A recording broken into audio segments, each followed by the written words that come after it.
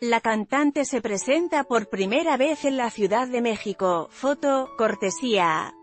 La cantautora puertorriqueña Cani García, aseguró que en la actualidad las mujeres han dado pasos agigantados en cuestión de igualdad de género en diferentes industrias, sin embargo, a su parecer, un movimiento o ideal no debería de convertirse en una guerra entre mujeres y hombres.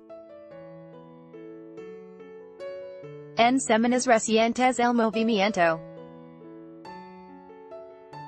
En relación al movimiento, cuando se le cuestionó a la cantante sobre lo que en la actualidad está ocurriendo, mencionó que le ha impresionado todo lo que se ha logrado, pero al mismo tiempo hay que tener cierta cautela.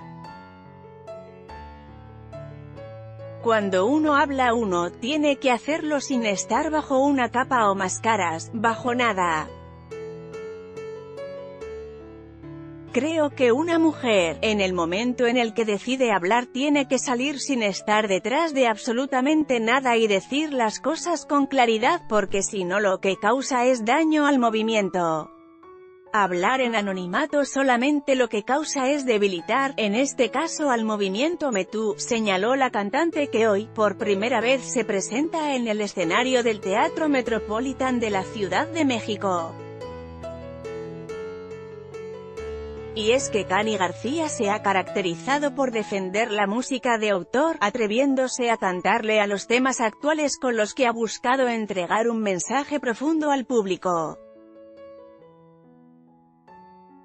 Tal es el caso de su reciente colaboración, Banana Papaya, junto a Residente, en donde abordan el tema de equidad de género.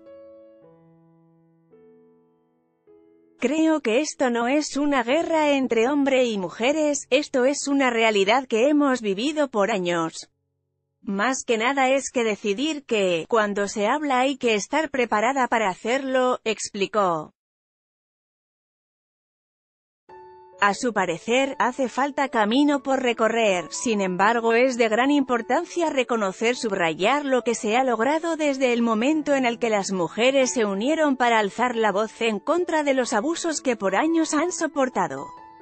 Hace algunos años atrás el mundo era otro y la conciencia acerca a esto no existía y me parece que estamos dando pasos adelante, comentó la intérprete de Para volver a amar amar, tema principal de la telenovela de Televisa con el mismo nombre, con el que adquirió gran reconocimiento entre el público mexicano.